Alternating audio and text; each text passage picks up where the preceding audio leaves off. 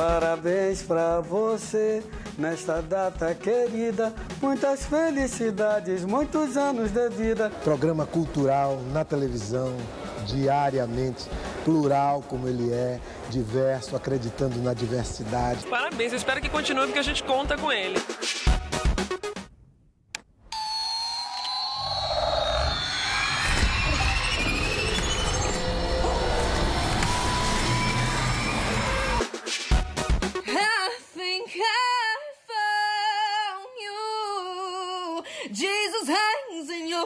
Place on the cross.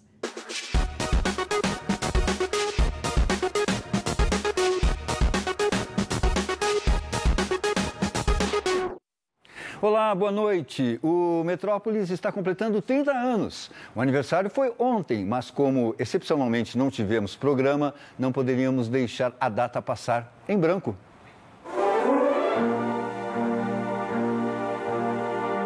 Começando um novo programa na televisão brasileira. Aqui nós vamos juntar o impensável. I and I am never going nowhere unless you share the Parabéns pra você.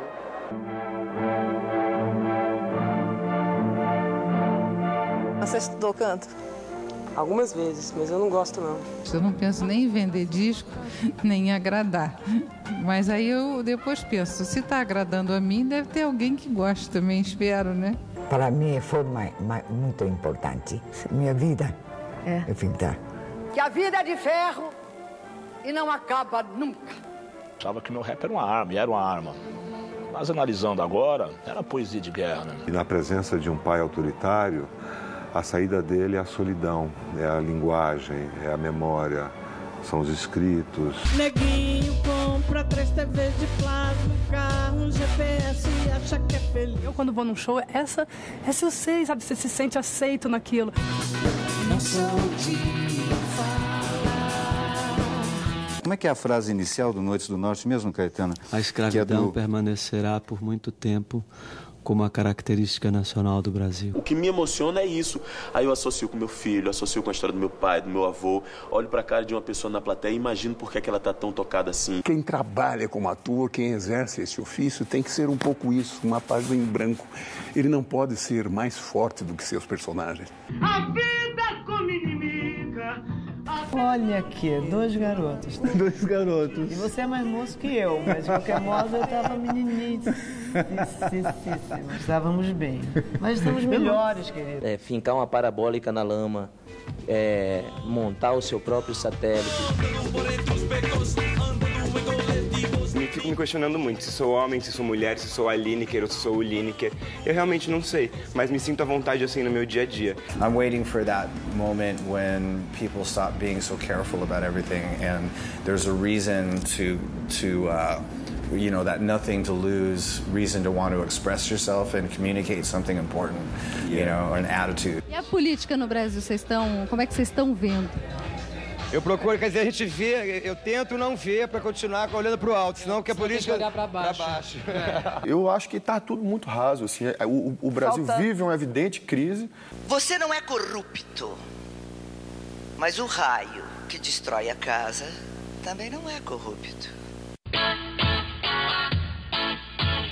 E aí, no momento que você me traz aqui, para o meio do pó, representando um pouco o público, a sua intenção é o quê? Que eu sinta mais proximamente tudo que a obra pode me proporcionar? Não. Não? Nada disso? Eu só queria sujar a tua calça. Peço que as câmeras me acompanhem, por favor. Não saiam de mim, que é um momento muito importante. Por quê? Ai, meu Deus.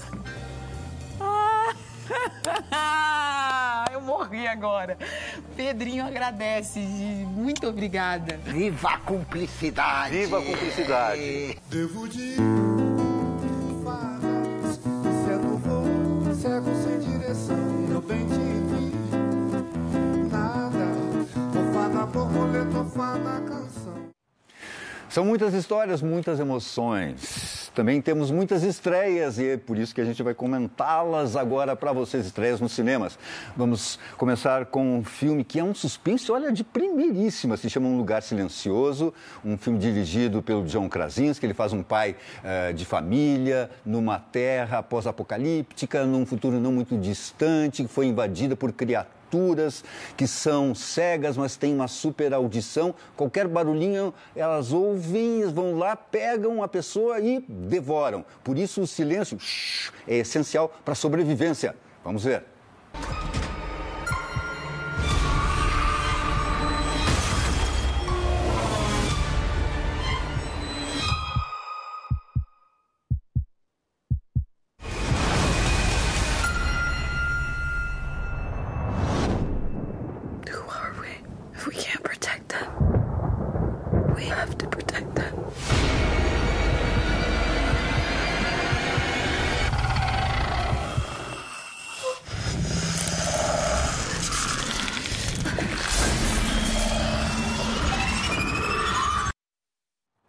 Filme aflitivo, mas dos bons, quase sem palavras, né? Emily Blunt, que apareceu aí, está excelente. E a menina que faz a filha dela, que se chama Millicent Simons, é, é, faz a filha surda e a menina realmente é surda e ajudou muito o elenco, inclusive na linguagem dos sinais. Um belíssimo filme para quem gosta do gênero.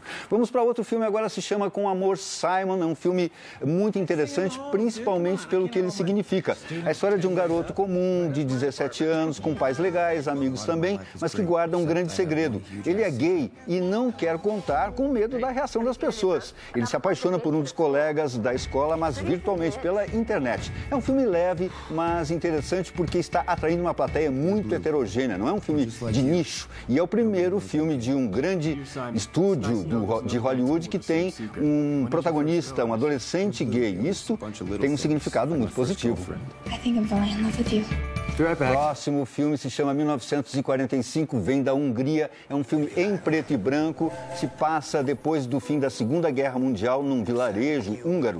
Os habitantes ficam temerosos quando dois estranhos chegam à estação de trem do lugar. Eles acham que podem ser herdeiros dos judeus que foram deportados da aldeia, o que seria uma ameaça às propriedades e bens adquiridos por eles durante a guerra.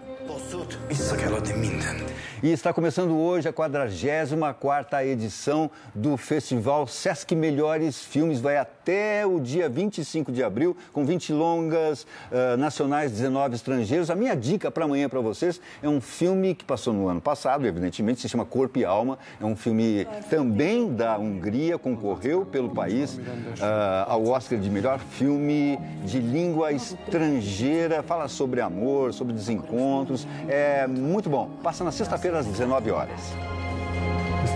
O festival também vai mostrar alguns clássicos que foram restaurados, como uh, o filme do Spielberg, Contatos Imediatos do Terceiro Grau, que é um filme de 1977 e fala sobre inteligência alienígena. Uh, o filme, esse filme vai passar nesta sexta-feira às 23h30. Ainda durante o festival vão passar outros clássicos como Cidadão Kane, Juventude Transviada, Blade Runner. A programação total do site eh, do, do festival está no site melhoresfilmes.sescsp.org.br. E outra estreia de hoje é O Homem das Cavernas, dirigido por Nick Park, que também fez A Fuga das Galinhas e Wallace o, e Gromit. O filme foi feito todo em stop motion, que é uma técnica de animação que usa fotografias quadro a quadro para criar movimento. Trocaram as cuecas hoje? Eu troquei com o Tongo. Deixa pra lá. Onde estavas? Na Idade da Pedra? Eu tenho que salvar a tribo. Na arena é daquele lado. So throw your sticks and throw your stones, cause you ain't gonna break my bones.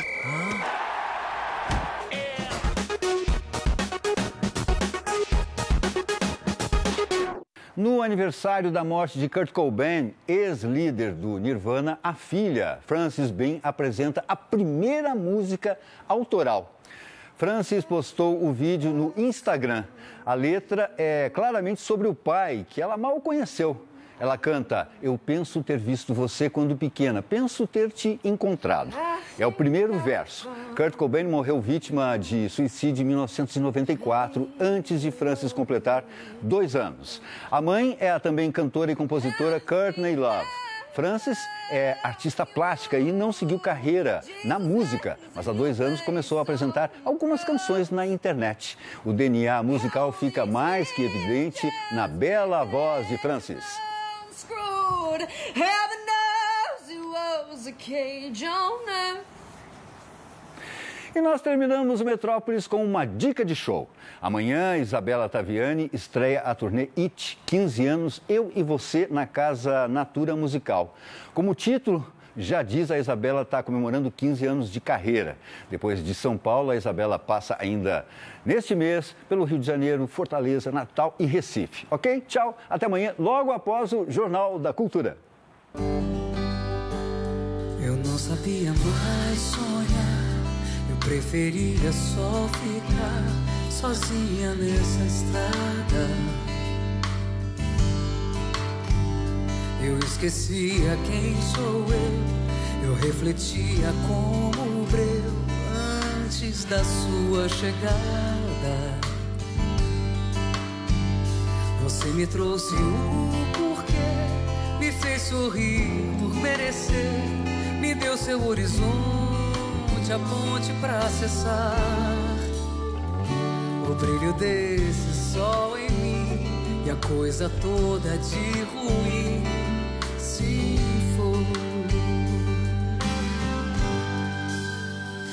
Acordo antes de você, só pra ver o seu sorriso quando abre os olhos e me vê.